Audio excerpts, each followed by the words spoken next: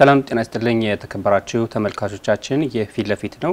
ዘውትር በዚህ ሰዓት በዋልታ ቴሌቪዥን እየተዘጋጀ የሚቀርብላችሁ ፕሮግራም ነው። በዚህ ፕሮግራም እንደተለመደው ሁሉ የተለያዩ እንግዶችን እዚህ ስቱዲዮ እየጋበዝን በሀገራዊ ጉዳዮች ዙሪያ ቆይታ እንደምናደርግ ይታወሳል።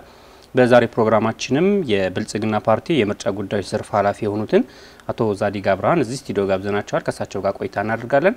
እንኳን ደህና መጡ።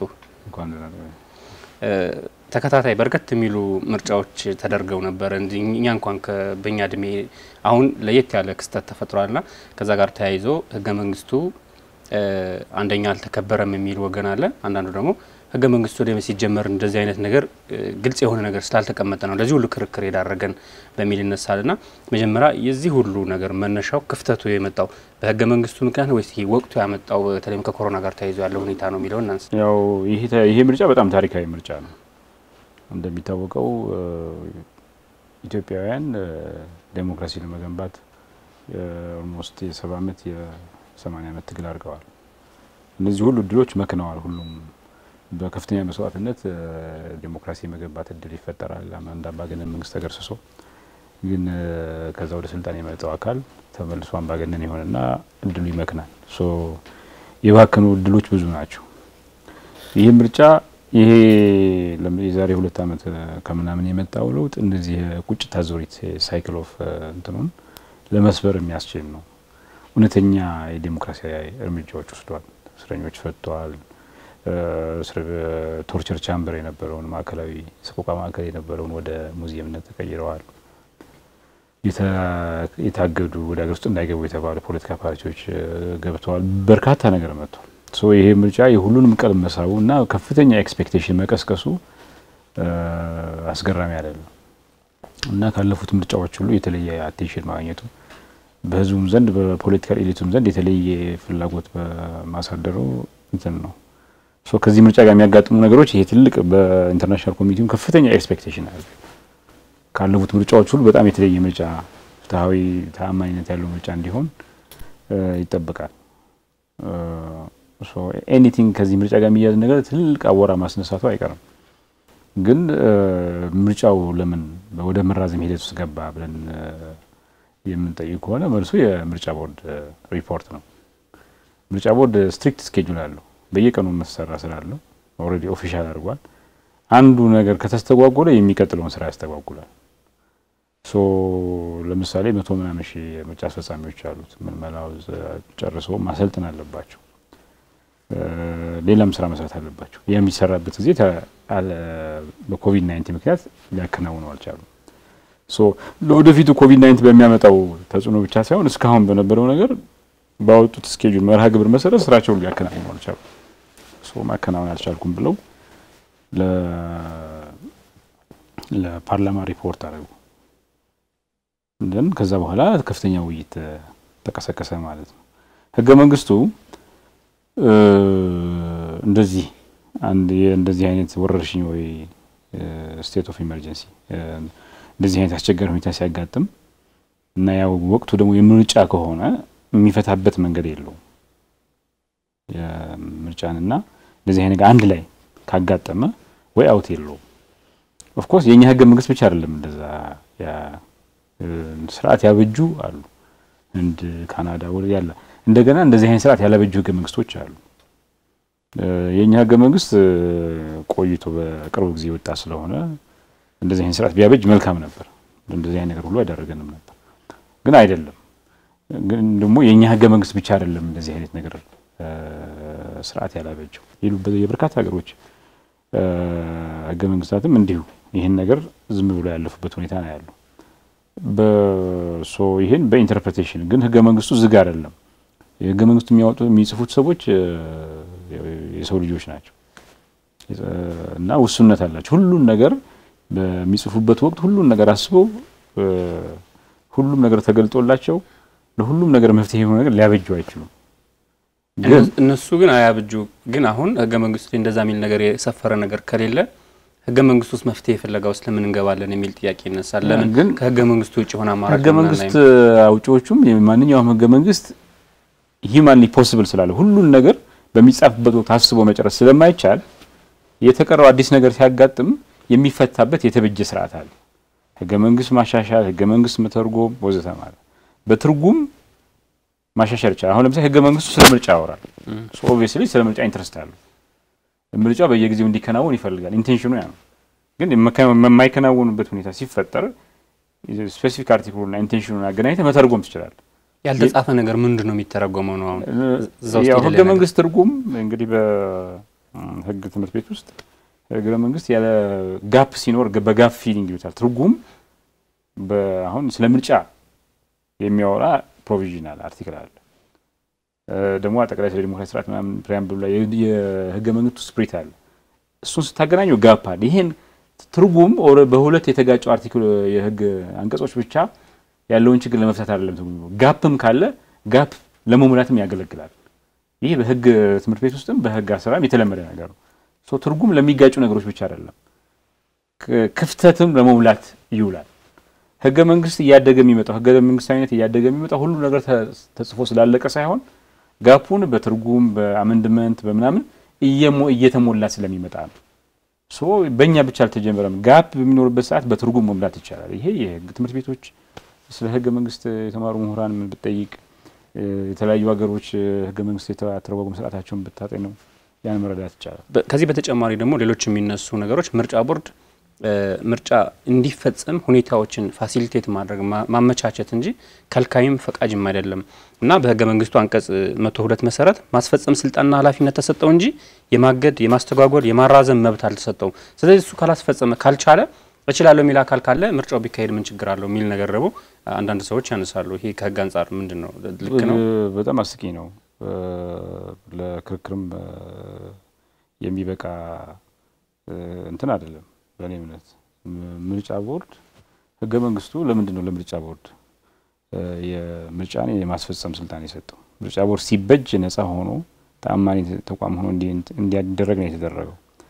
so ያ በባላንጣዎች መካከል የሚደረገውን ምርጫ third party ሆኖ run የማድረግ ችሎታና አቅም ይሰጠዋል።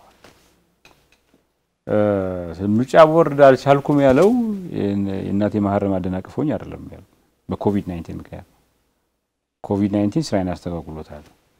so በተቀመጠለት schedule መሰረት ሊቀጥል አልችልም ነው ያለው። ይሄ በጣም clear ነገር ነው። አይ ይሄ ካልቻለ ሌላ ምርጫ ቦርድ ካልቻለ ምርጫ ብቻ ለማስፈጸም ይሄ ሁሉ ጊዜ ተቋቁሞ ይሄ ሁሉ ጊዜ ስራ ሰርቶ በዚህ ፍጥነት ካልቻለ ከየት የመጣ ዱብዳ ነው? አሁን ምርጫውን run ማድረግ የሚችለው ከየት የመጣ ነው? የትኛው በየትኛው ቅድመ ዝግጅት ነው? በየትኛው ቅድመ ዝግጅት እያደረገ የነበረ ሰውዬ መለመለ የነበረው ድርጅት እኮ አልቻለም፣ መስሪያ ቤት እኮ አልቻለም run ማድረግ በኮቪድ 19 ምክንያት። የትኛው omnipotent የሆነ የተለየ አቅም ያለው የሆነ ተአምረኛ ተቋም በዚህ አሁን እየተናገርን ባለ በሁለት ሳምንት ተቋቁሞ ከዛ ምርጫ ማለት ተቋማት የማቋቋም ጉዳይ የፍ- የፍላጎት ጉዳይ አለ። ህገ መንግስቱ ለምርጫ ቦርድ ነው የሰጠው። ይሄ እኮ በጣም ለብዙ ብዙ sophistication የሚጠይቅ ነገር አይደለም። ትላንት ምርጫ ቦርድ ለምርጫ ቦርድ ጥብቅና የቆሙ የነበሩ ሰዎች ዛሬ ስልጣን ላይ ስላልሆኑ ፓርቲያቸው ስልጣ- ስልጣን ላይ ስላልሆነ ተቃዋሚ ፓርቲ ስለሆነ አሁን ምርጫ ቦርድ የሚተ- የሚተካ parallel ተቋም መፍጠር ይፈልጋሉ። በጣም አስቂኝ ነው። በፌዴራልና በክልል ደረጃ ምርጫ ቦርድ ይቋቋማል ስለሚል በክልል ማቋቋም የፌዴራል መንግስት ስልጣን ነው። branch ኦች ሊያቋቁም ይችላል እንጂ ቅርንጫፎች የፌዴራል በፌዴራል ደረጃ የሚቋቋም በብሔራዊ ደረጃ የሚቋቋም ምርጫ ቦርድ ነው። ይህን run ማድረግ የክልሎች የተሰጠ ስልጣን አይደለም። ምርጫ ነው። ክልሎች ሉዓላዊ የስልጣን ባለቤት ናቸው የሚለውን አይጻረርም። ይሄ ክልሎች ሉዓላዊ የሚሆኑበት perspective አለ። የፌዴራልና የክልል መንግስታት በየራሳቸው ሉዓላዊ ናቸው። የተሰጣቸው competing ስልጣን አለ። አብረው ይሰራሉ እና በየተሰጣቸው ስልጣን ሉዓላዊ ናቸው እንጂ ያ ማለት አገር ማለት እኮ ነው። ለፌዴራል መንግስት የተሰጠ ስልጣን አለ። ለምሳሌ ክልሎች መከላከያ ኃይል ሊኖራቸው አይችልም። የውጭ ግንኙነት ሊመሰርቱ አይችሉም። የውጭ ግንኙነት መ- ስል መከላከያ ኃይል የላቸውም እንጂ ልዩ ኃይል ፖሊስ እየተባለ ያው ከመከላከያ ያልተናነሰ ኃይል እሱ ሊያነጋግር ይችላል። ግን የመከላከያ የሚባል ፐርሴ ተቋም ሊሉ አይችሉም። አሁን ልዩ ኃይልም እኮ መያዝ ያለበት መሳሪያ ምናምን standards አሉ። ያንን ካለፈ ያው ተግባራዊ ማድረግ ጉዳይ ይህን ተከታትሎ የማስፈጸም ጉዳይ ያን አደብ የማስገዘት ጉዳይ ይሆናል። ግን መከላከያ ሚኒስትር ሆኖ ሊሾም መከላከያ ተቋም ሊገነባ አይችልም። ለምሳሌ ሶስት ክልሎች ሉዓላዊ የሚሆን በተሰጣቸው ስልጣን ክልል ነው። የፌዴራል መንግስት ደግሞ የሰጠው ስልጣን አለ፣ በዛ ሉዓላዊ ነው። አብሮ ይተባበራሉ በየተሰጣቸው competing ስልጣን ደግሞ እና ይሄ በአጋጣሚ የምርጫ ጉዳይ በአጋጣሚ ብቻ ሳይሆን የትም ሀገር የምርጫ ጉዳይ run የማድረግ election በማዕከል የሚከናወን በሁሉም አንድ ቦታ መከናወን ያለበት ነገር ስለሆነ የማዕከላዊ መንግስት ስልጣን ነው፣ የፌዴራል መንግስት ስልጣን ነው። የፌዴራል መንግስት ደግሞ ሲባል ያው አስፈጻሚው አካል ሳይሆን ምርጫ ቦርድ ነው። so ይሄ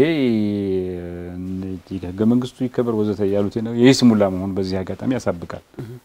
ሁለት የሚነሳ ነገር አለ ከዚህ ጋር ለአመታት ክልሎች ያላቸውን አቅም መጠቀም ስላልቻሉና በፌዴራል መንግስቱ በማዕከላዊ እዝ ብቻ ስለነበረ የሚንቀሳቀሱት አቅም አልነበራቸውም። አሁን አቅም ስላላቸው ጠንካራ ስለሆኑ የፌዴራል መንግስቱን መሞገት መከራከርና እንዲህ አይነት ነገሮችን አንዳንዴ በራሳቸው ውሳኔ ማድረግ የሚችሉበት ደረጃ ላይ መድረሳቸውን የሚያሳይ ነው ብሎ የሚከራከር ወገን አለ። በሌላ በኩል ደግሞ ይሄ ልክ አይደለም፣ የፌዴራል መንግስቱን ይሄ የስልጣን ገደብ መጋፋት ነው። የክልሎች ስልጣን ያልተሰጣቸው አለ፣ የፌዴራሉ መንግስት የተሰጠው ስልጣን አለ። ስለዚህ ያንን መጋፋት ነው። ስለዚህ ወይ የፌዴራል መንግስቱ ቅቡልነት ላይ ጥያቄ አለ ወይም ደግሞ ይሄ የመታዘዝና የማዘዙ ነገር ላይ ክፍተት አለው ማለት ነው በሚል ይነሳል። ጠንካራ ክልሎች በጣም ያስፈልጉናል። በራሳቸው በጀት የሚተዳደሩ አሁን ብዙዎቹ ክልሎች ጥንካሬያቸው ግን አልታዘዝም እስከሚል ድረስ ግን መሆን የለበትም። በፌዴራል መንግስቱ ልጨርስና ሀሳቤ ጠንካራ ክልሎች ያስፈልጋሉ። ጠንካራ ክልሎች ካሉ የፌዴራል መንግስት ጠንካራ ነው የሚሆነው። የፌዴራል መንግስቱ የእነዚህ ክልሎች ድምር ውጤት ነው።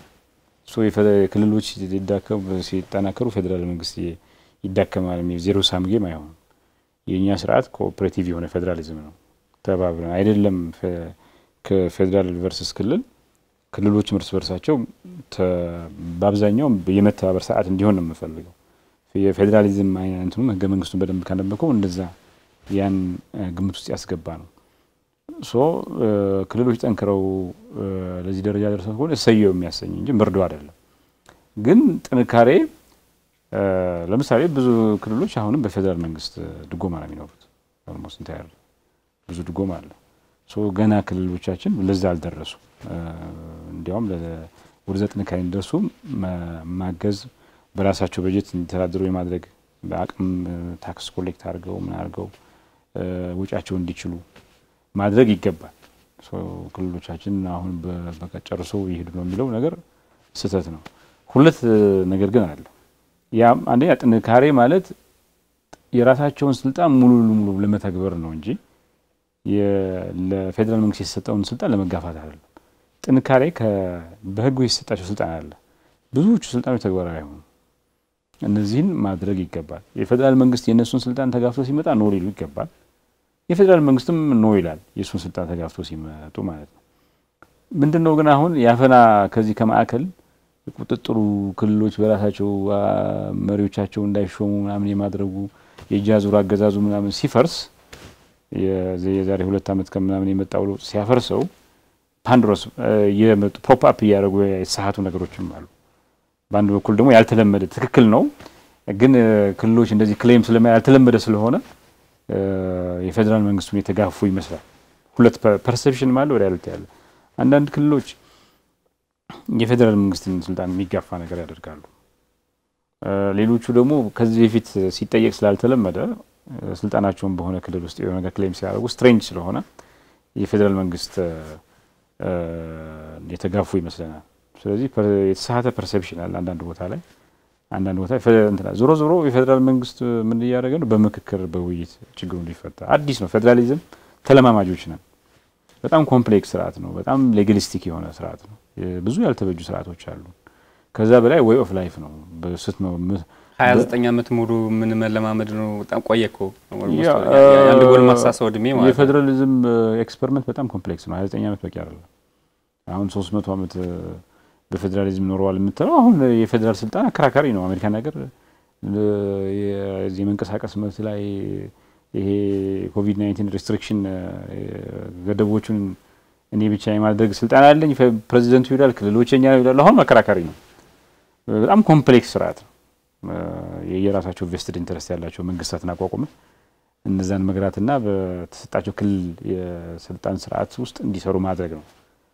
so በ29 ዓመት ፌዴራል ስርዓቱ ከተበጀ ከ1987 በኋላ በለውና ህገ መንግስት ከወጣ በኋላ በዛ ላይ በፌዴራል ስርዓቱን በደንብ ተግባራዊ ያደረግነው። ችግሮች ነበሩ ከማዕከል ምናምን። ስለዚህ ገና ተማሪዎች ነን። የፌዴራሊዝም ተማሪ ደግሞ ያጠፋል፣ እያጠፋ ነው የሚማረው። አንዳንድ ቦታ ላይ ችግሩ መከሰቱ አስገራሚ አይደለም። ያ በውይይት እንደ መማሪያ እንደ lesson ከወሰድከው የተስተካከለ refine እየሆነ ይመጣል። የተለየ የሆነው የ TPLF ጉዳይ ነው።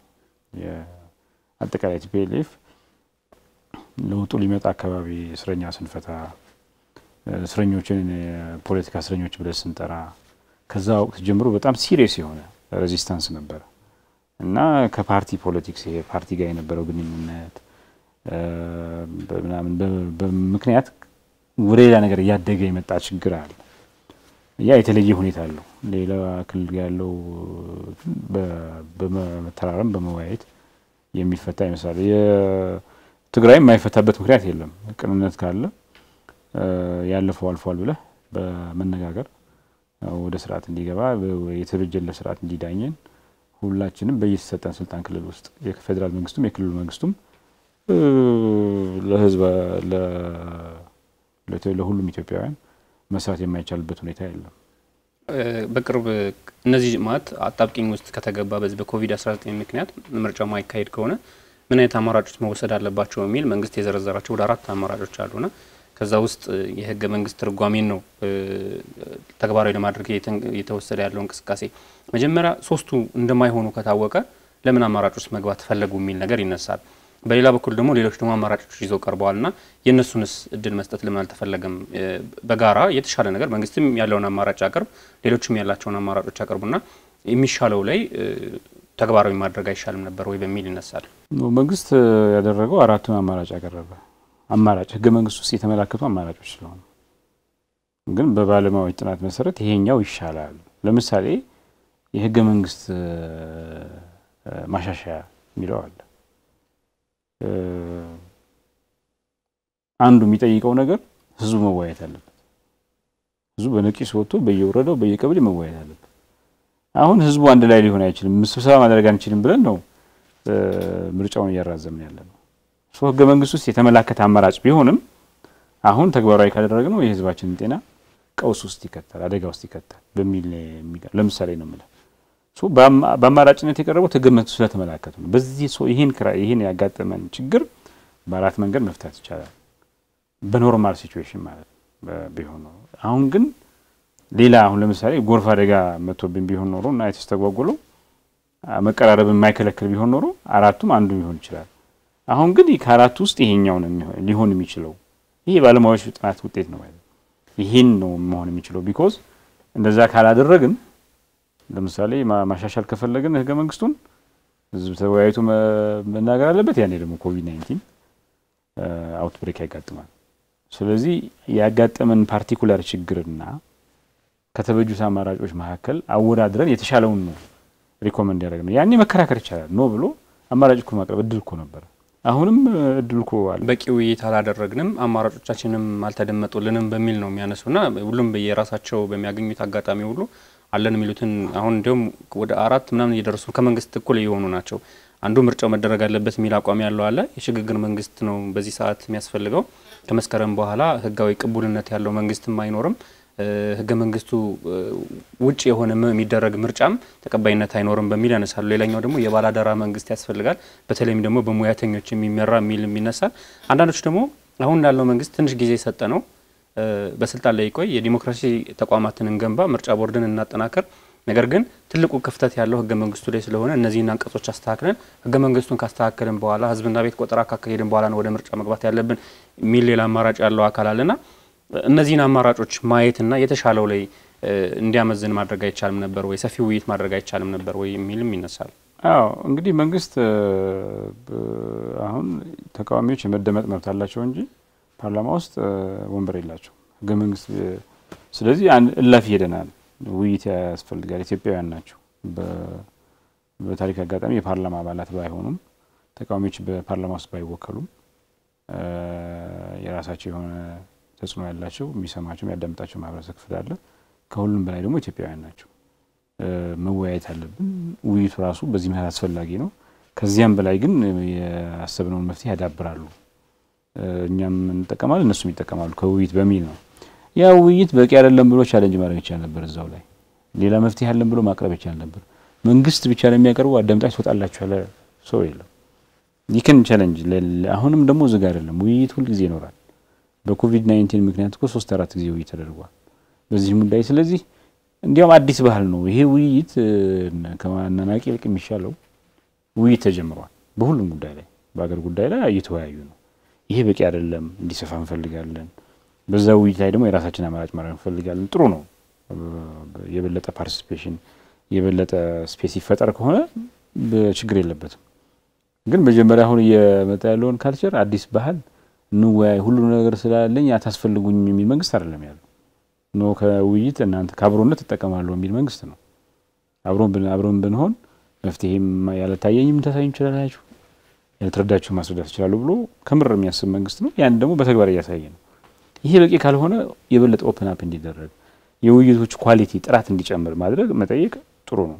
ይህን ውይይት ግን እንዳለ አግዝፎ ከዚህ በፊት ከነበረው አሳንሶ ተቀንሶ እንደሆነ አድርጎ ማቅረብ fair አይደለም እና ለውይይት እድል ይኖራል። መጠየቅም ይቻል ነበር እኮ venue ው አለ፣ እድል አለ። እድል ሲፈጠር መጠቀም ነው። እድሉን ግን የጠቀሙበታል። በአብዛኞቹ ፓርቲዎች ተስማምተዋል። አንድ ሁለትን ፓርቲ ተወያይተን እንምጣ ሰነዱን ስጡን ያለ ፓርቲ አልተጠየቅንም ነው። አማራጭ ሀሳብ ይዛችሁ ቅረቡና እኔም አማራጭ አለኝ እንወያይበት ሳይሆን ድንገት ስንቀርብ ብልጽግና የራሱን አማራጭ ይዞ መጣና ይኸው እነዚህ እነዚህ አማራጮች አሉ ትቀበላላችሁ አትቀበሉም አይነት ነገር ሆነና ይሄ አዲስ አምባገነናዊ ስርዓት ለመገንባት የሚደረግ እንቅስቃሴ ነው። መንግስት እኮ ግዴታ አለበት። መንግስት ይሄ ስራው ነው። መንግስት አስቦ ሪፖርት ቀርበውለት ስለነበር መጣ። እነሱ ደግሞ ያኔ ሌላ አማራጭ አለን ጊዜ ስጡን ማለት ይቻላል እኮ እንደዚህ አይነት ሀሳብ አልቀረብም። ከመጀመሪያውም እኮ አምባገነን መንግስት ከሆነ በውይይት የማያምን መንግስት ከሆነ ለምን መጣት አስፈለገ? ጥሪውን እኮ አስገድደውን አለም የጠራ ራሳችን ነው ደውለን የጠራ ናቸው። በውይይት ተሳተፉ ብለን ያደምናቸው እኛ እኮ ነው። ጥሪውን ያስተላለፍናቸው እኮ እኛ ነው። ስለዚህ በምን ምክንያት ነው? አምባገነን መንግስታት ከሆኑ እንደዚህ በሩን ገርገባ አድርጎ አይከፍቱም። እንዳለ ዝግ ነው የሚያደርጉት። ውይይት መሰረቱ አስፈላጊ አይሆንም ነበር። ስለዚህ intention ኑም ስህተት ነው።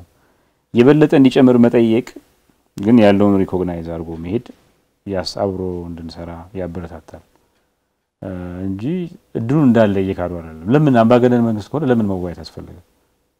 እነሱ ፓርላማ ውስጥ የሉ ምን የሉም። በህገ መንግስቱ ለማትርጎም በተበጀው ስርዓት ውስጥ እንቅፋት መሆን አይችሉም። ለምን አስፈለገው ውይይቱ? ስለዚህ ስህተት ነው ስህተት ነው። ከዚህም ፖለቲካ ትርፍ የማግኘት ሙከራ ነው። አሁን የመጣው በተለይም ደግሞ የቫይረሱ ስርጭት ይሄ ከሰው ልጆች አቅም በላይ የሆነ ነገር ነው በሚለው ብዙ ሰው ይስማማል። ስለዚህ ከሰው ልጅ አቅም በላይ የሆነ ነገር ከመጣ ህገ መንግስት የህጎች ሁሉ የበላይ ነው እንጂ የሰዎች ሁሉ የበላይ አይደለም። ስለዚህ አሁን ስለ ህገ መንግስቱም ስለምንም የምንጨነቅበት አይደለም። ስለ ሰውነት በህይወት ስለመኖር ነው። ያ ማለት አሁን ህገ መንግስቱ መንግስት የመሆን ምን የመሆን ፖለቲካ ፓርቲ የመሆን ሳይሆን ሀገርን ማዳን ከዛ ቀጥሎ ደግሞ ሌሎች አስፈላጊ የሆኑ ነገሮች መቋረጥም ስለሌለባቸው ያንን ማድረግ ነውና ከህገ መንግስቱ ሁሌ ህገ መንግስቱ እንዳይጣስ ህገ መንግስቱ እንዳይጣስ የሚለው ነገር already አሁን በቃ ከህግም ከምንም በላይ የሆነ ነገር ከላያችን ላይ ስለመጣ ሌሎችን በደንብ በስፋት መታየት ያለባቸው ነገሮች መዳሰስ አለብን፣ መነጋገር አለብን። አሁን እርስዎ እንዳሉት የፓርላማ አባል አይደሉም፣ ግን አሁን ከአቅም በላይ የሆነ ነገር ስለመጣ ብዙ እያደረግናቸው ያሉ እንቅስቃሴዎችም ከህግም ከምንም ውጭ የሆኑ ነገሮች ናቸው በሚል ነው የሚነሱት እነዚህ ነገሮች። ምንድን ነው ሁለቱንም ማስኬድ ይቻላል። ኮቪድ nineteen በህዝባችን ላይ አደጋ እንዳያደርስ እየተከላከል ደግሞ ስርዓት መጠበቅ እንችላለን። የግድ ህገ መንግስቱ መጣስ የለበትም። ይቻላል ሁለቱንም ማድረግ። ከበሽታው በኋላ ከወረርሽኝ በኋላ ህይወት ይቀጥላል እና ሰው ልጅ ስርዓት ከሌለው state of nature ነው የሚሆነው፣ wild እንትን ነው የሚሆነው። ስለዚህ የሚጠብቀን እርስ በርስ አንዱ ከሀይለኛው ደካማውን የምንጠብቅበት ችግር ሲኖር የምንፈታበት የመንግስት አስተዳደር ስርዓት የሚመሰረተበት ስርዓት ያስፈልገናል። ስለዚህ ያን maintain ማድረግ ያስፈልገናል። አንዱ አሁን ያለን እጃችን ጋር ህገ መንግስቱ ነው። ይሄ አሁን ያለው ህገ መንግስት ነው። እሱን ሳይጥሱ ኮቪድ nineteen መከላከል ይቻላል። እሱ የጎደለውን ነገር በትርጉም እየሞሉ ማለት ነው። በግማሽ መንገድ እኮ ግማሽ መንገድ ሄደናል እኮ አሳትፈናቸዋል። አሁን የተሳትፎ ጥራት ነው። paper ማቅረብ ነበረብን። it could have been possible። መንግስት ከዛ የሚያጣው ነገር የለም። ሀሳብ አቅርበው በዛ ላይ ለመወያየት ለመከራከር ምንም እጥረት ፍላጎት ችግር ያለበት ፓርቲ አይደለም። ገዢው ፓርቲም መንግስትም እንደዚ አይነት ችግር የለባቸውም። ግን ሀሳቡ መጠቆም ይቻል ነበር። እኛ ታይቶን እንዲሳተፉ ጠራን። ከዛ ደግሞ እነሱ በእነሱ በኩል አይ እንደዚህ ቢሆን ቢሉ ኖሮ ቀላል ነበር የሚሆነው። ግን መጀመሪያውኑ የኋላ ላይ የፖለቲካ ትርፍ ማስቆጠር ከሆነ ፍላጎቱ ያኔ ሳይናገሩ ወጥቶ ከዚህም ትርፍ ለማግኘት ከተሞከረ ስህተት ነው። genuine እየተነሳ ሊሆን ይችላል፣ በዚህ ምክንያት ሊሆን ይችላል። በእኛ መጠ እድሉን ፈጥረናል። እድሉ ደግሞ እንዲሰፋ እነሱ ነው የሚሰሩት። አይ እንደዚህ ከሚሆን እንደዚህ እንደዚህ አይነት argument አልነበረም። አፍተርthought ነው ወይስ ያኔ ዝም ብሎ ከዚህ የፖለቲካ ትርፍ አስቆጥራለሁ ወጥቼ እንደ እንትኑ ውይይቱ ብዙም ትርጉም እንዳልነበረው አድርጌ መንግስት እየወሰደ ያለውን ፖዚቲቭ ኦፕኒንግ አፕን ማራከስ በማራከስ ጥቅም ማግኘት ይችላለሁ የሚል ፖለቲካ ስሌት ከሆነ ብዙም የሚያስኬድ አይመስለኝም።